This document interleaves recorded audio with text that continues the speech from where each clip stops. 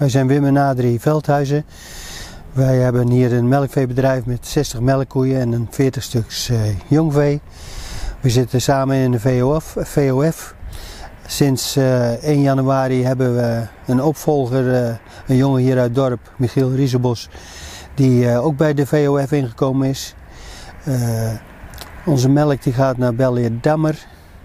We hebben een 40, 45 hectare grond, waarvan 7,5 hectare mais en de rest is gras.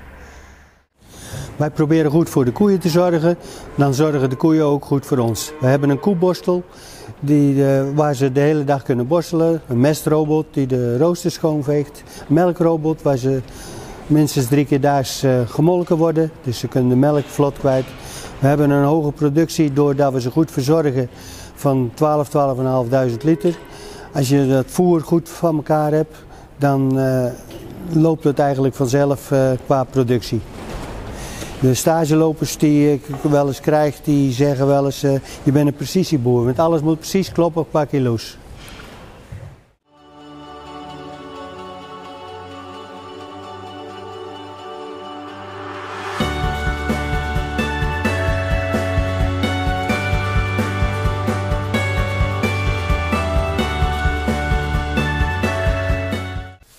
Logeren bij de boer, hoe mooi is dat? In een monumentale pand, in een verbouwde schaapskooi.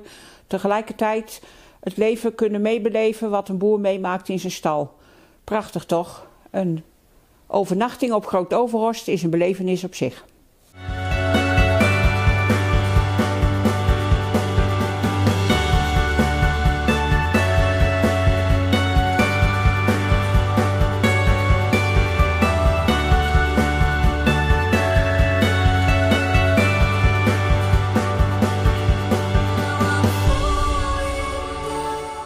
Vallei Boert Bewust, een prachtig initiatief om de boer en de burger bij elkaar te krijgen.